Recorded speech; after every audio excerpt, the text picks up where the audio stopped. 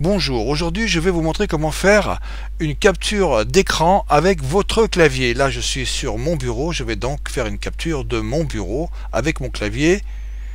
Il faut savoir que sur votre clavier, à droite de votre clavier, c'est-à-dire à gauche de votre pavé numérique, vous avez une touche qui, en général, dans les claviers français, est écrit imprimer écran. Des fois, il est écrit imprimer écran euh, système et dans les claviers américains, anglais, c'est écrit différemment. Donc vous cliquez sur cette touche.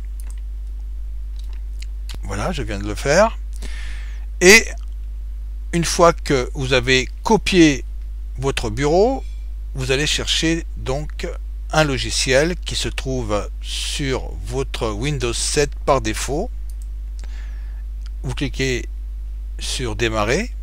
Ensuite, vous cliquez sur les programmes. Et là vous cliquez sur accessoires. Et là vous avez le logiciel Paint donc vous cliquez dessus comme ceci.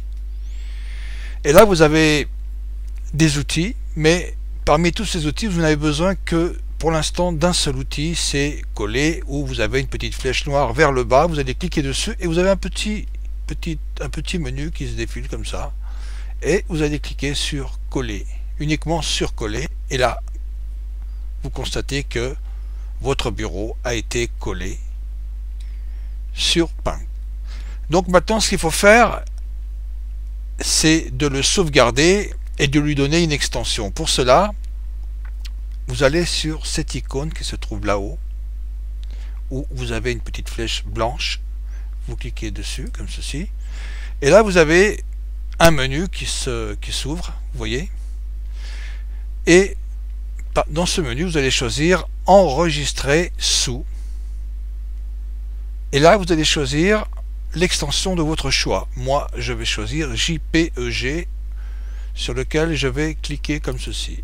Voilà. Donc j'ai choisi ça. Et là je suis dans le répertoire de destination dans lequel se trouvera l'image que je viens de copier et coller sur Paint donc vous voyez ça se trouvera dans Images et je vais retirer le nom sans titre qui est écrit par défaut et je vais marquer ordi ordi bureau.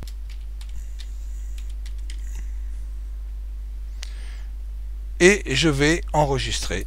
Voilà.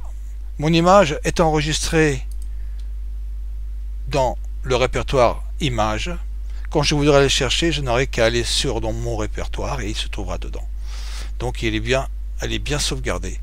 Donc maintenant je quitte euh, ce logiciel euh, dont je n'ai plus besoin.